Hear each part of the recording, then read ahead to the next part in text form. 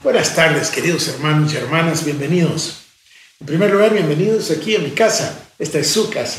Y este salón es mi biblioteca, es mi oficina, es un lugarcito, vieron que alguien le dice inner sanctum, es decir, este es el lugar privado mío.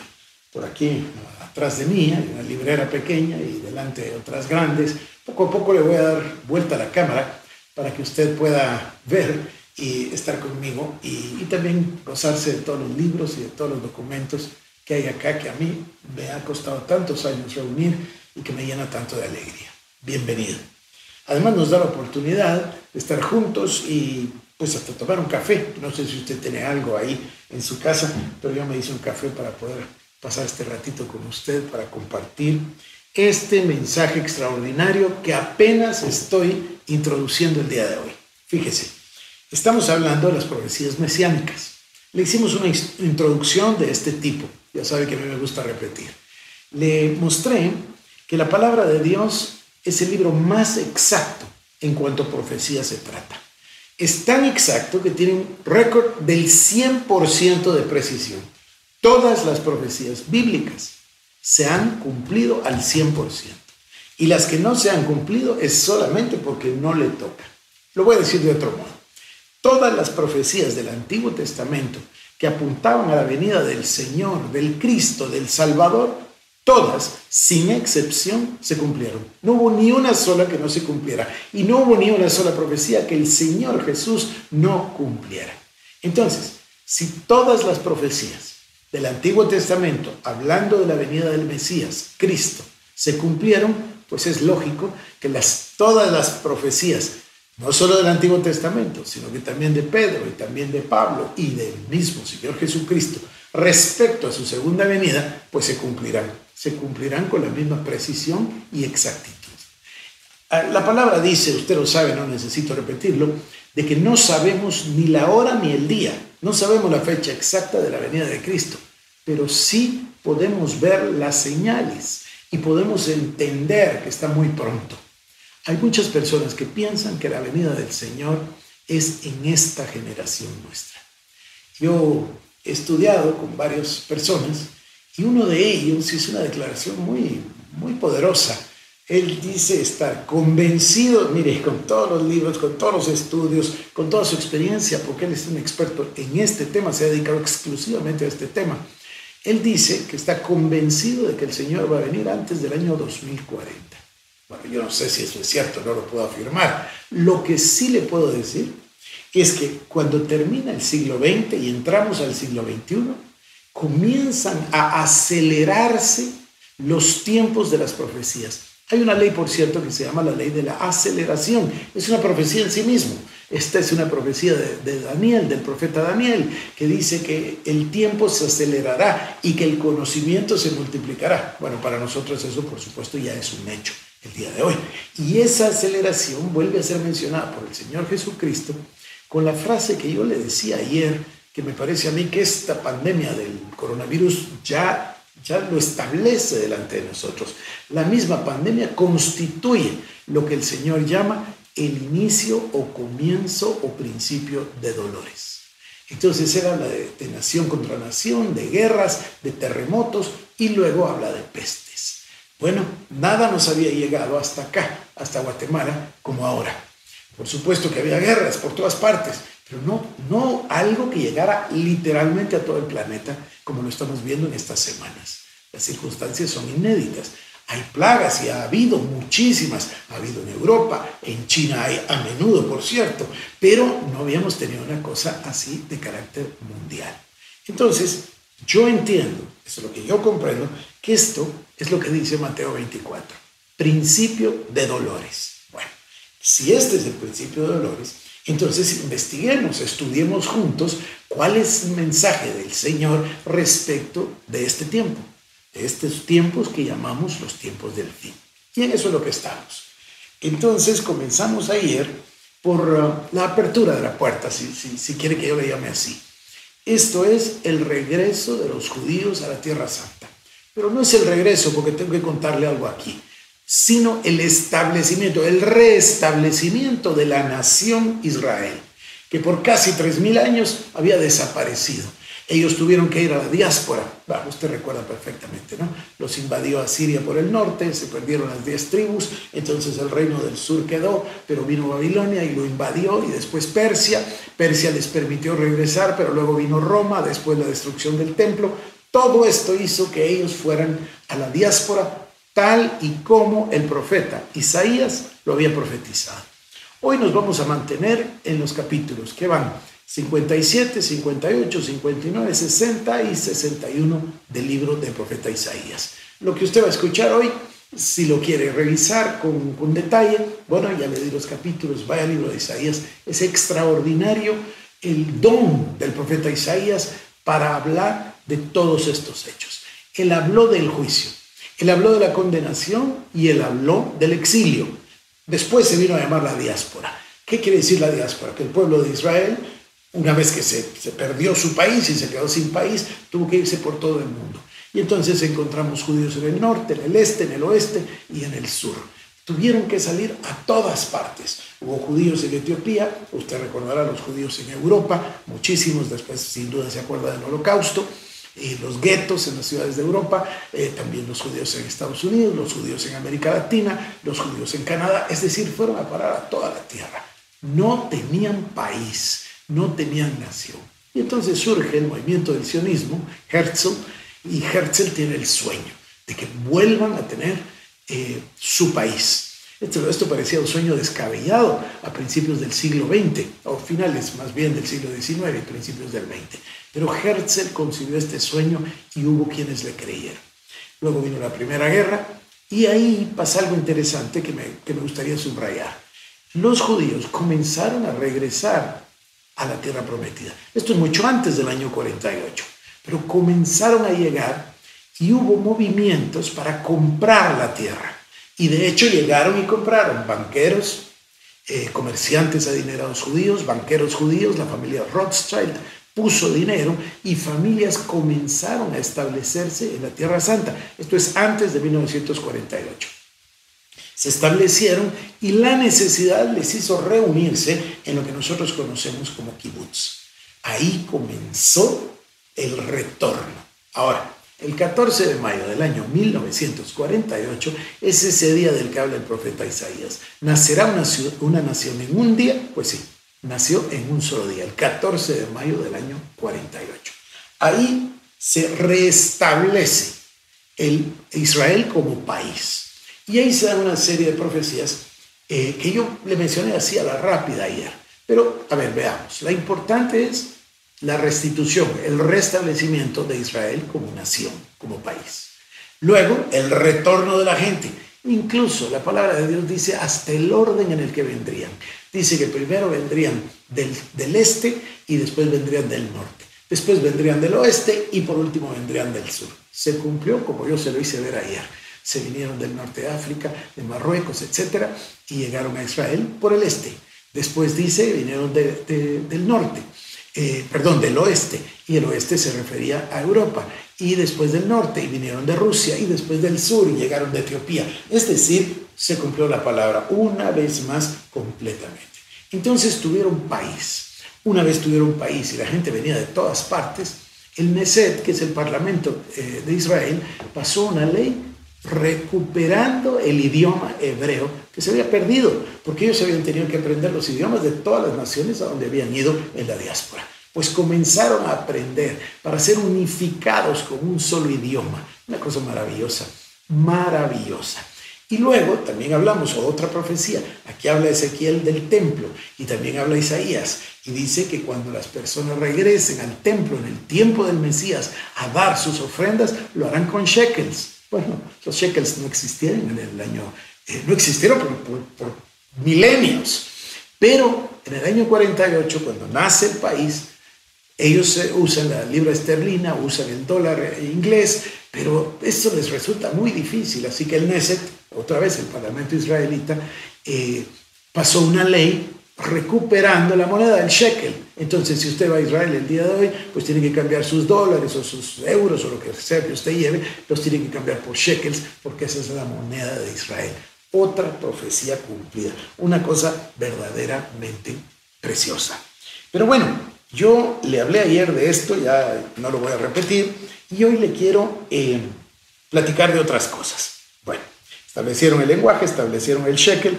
Hoy le voy a hablar de algo maravilloso, de lo que a lo mejor usted fue parte, porque yo fui parte. Y es los bosques y los árboles de Israel. Es una profecía, es una profecía de Isaías. Isaías dice, vuelvo a insistirle, no le estoy dando los versículos, pero estoy hablando del capítulo 57 al capítulo 60-61 de Isaías. Entonces dice la palabra que en el tiempo de la diáspora, cuando Israel fuera eh, al exilio por causa del juicio, por causa de la condenación, por causa del pecado, entonces Dios haría que la tierra fuera hecha un desierto. Y eso sucedió. Todo el tiempo de la diáspora, lo que hoy conocemos como Tierra Santa, se convirtió en un, en un desierto. No quedaron árboles. Más bien era un abandono total.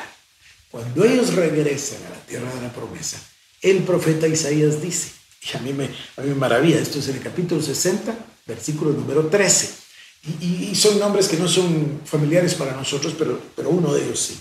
Y entonces el profeta dice que volverán a haber bosques y árboles. Y entonces se sembrarán los bojes, las hayas y los pinos. Bueno, pues no somos nosotros, no es algo nuestro los, los árboles, los bojes ni las hayas, pero conocemos perfectamente los pinos. Bueno, hubo movimientos durante muchísimos años en los cuales le decían a usted que podía o dar una ofrenda o bien lo hacían por cariño a usted yo di una ofrenda y le traigo este certificado de un árbol plantado en el bosque tal y tal en Israel.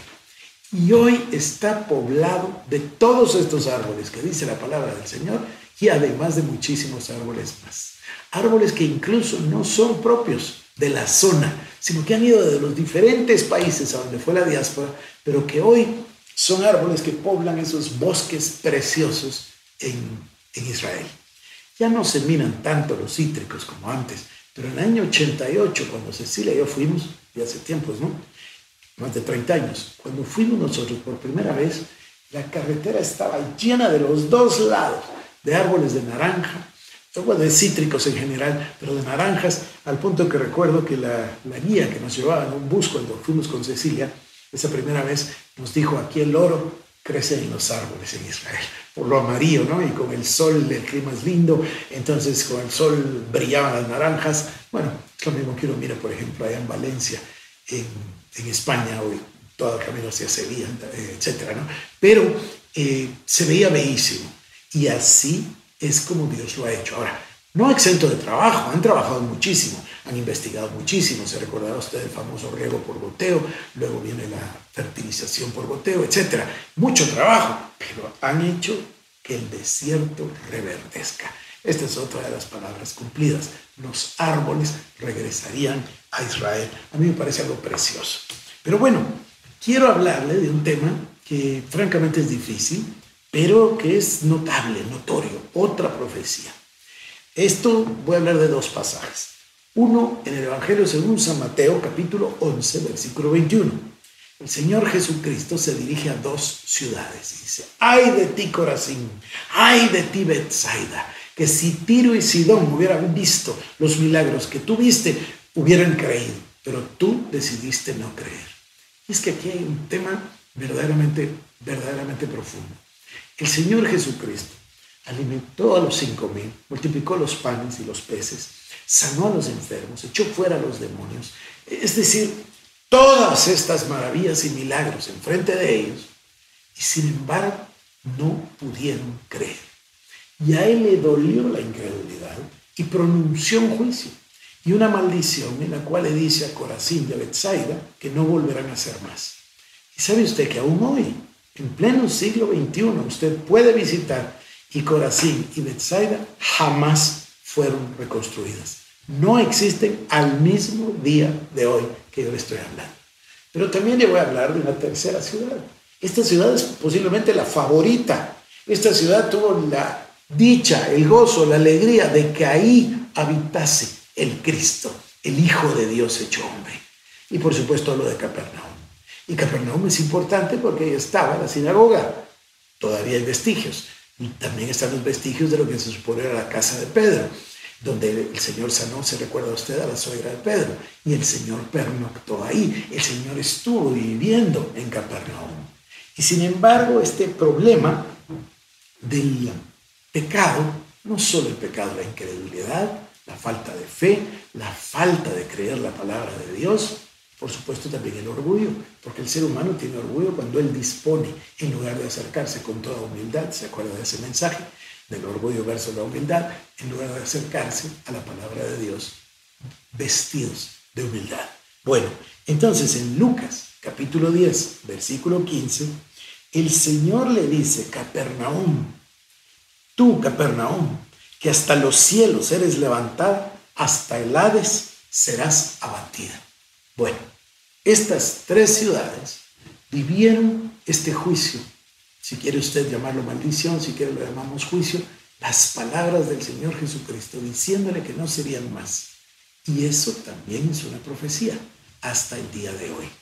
Bueno, miren, yo quisiera parar aquí un momentito e invitarle para que creamos, invitarle para que nos acerquemos a la palabra con un espíritu de fe, un espíritu de amor, un espíritu de humildad, un espíritu que dice, Señor, esta es tu palabra, mi Dios, yo abro mi corazón, abro mi alma, abro mi mente, concédeme Espíritu Santo, que la palabra sea sembrada en mi corazón, yo voy a creer todo lo que la palabra de Dios dice. ¿Se recuerda las cinco solas?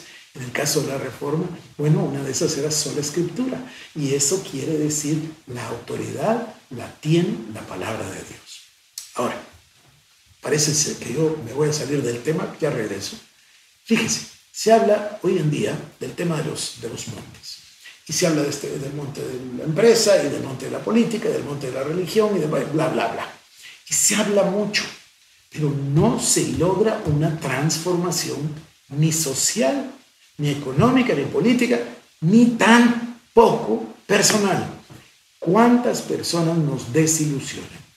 Yo tuve cuatro desilusiones en el año 2019.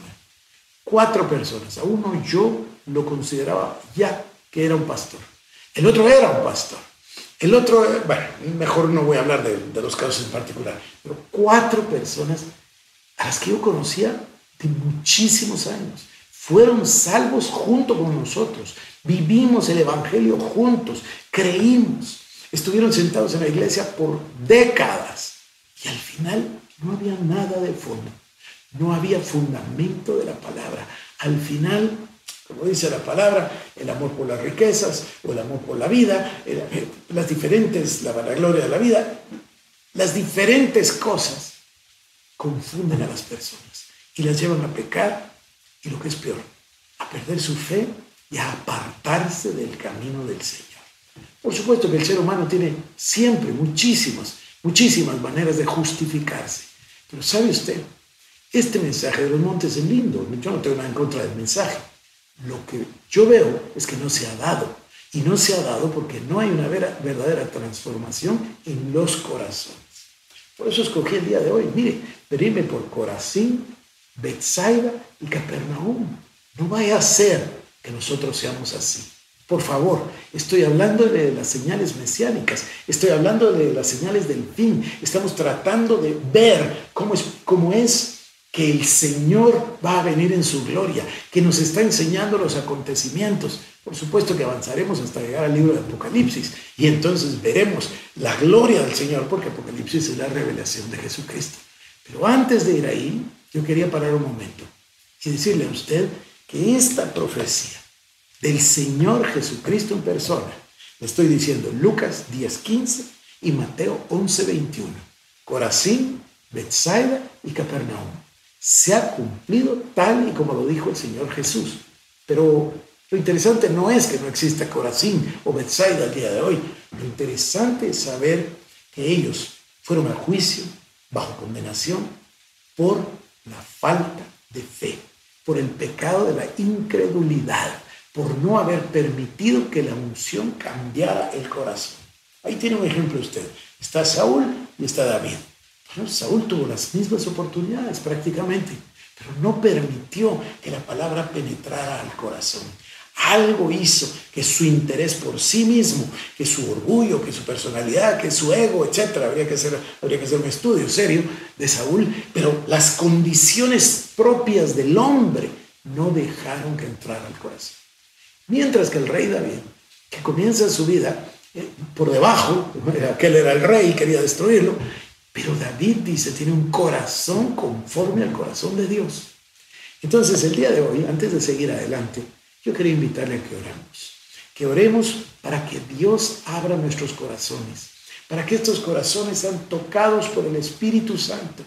Mire, nosotros hicimos el 8 de septiembre un pacto, usted se recordará, en el dosel.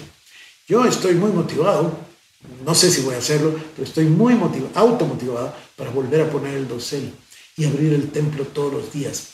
Cuando se pueda transportar, cuando no sea prohibido, cuando ya podamos salir, creo que debemos hacerlo. O a lo mejor, usted tiene un salón así como este en su casa, donde usted puede poner, no, no dosel, pero donde usted puede invitar a la gloria de Dios, a la presencia de Dios, para estar usted a solas con el Espíritu Santo y con su santa palabra, para que Dios cambie su corazón para que no tenga usted un corazón de incredulidad, sino al contrario, un corazón de fe, un corazón de amor, para que se empiecen a manifestar todos los frutos del Espíritu. Bueno, caminé muy poquito hoy, pero ya estaré de vuelta con usted mañana. Le hago un comentario que no tiene nada que ver con la palabra. ¿Cómo me costó ayer mandar los archivos, el que los archivos llegaran a, medios de la iglesia para poder esto? Nos atrasamos 24 horas, pero aquí estamos. Aquí estamos y vamos a seguir con usted día tras día con la palabra de Dios y este mensaje tan maravilloso que al final del día no, lo importante no son las señales, lo importante es la venida de nuestro Señor Jesucristo, la segunda venida de Cristo en el esplendor, en el resplandor de su gloria. Bueno, Dios le bendiga y mañana nos volveremos a sintonizar. Que el Señor llene de paz su hogar, su corazón, su familia. Bendiciones para Guatemala.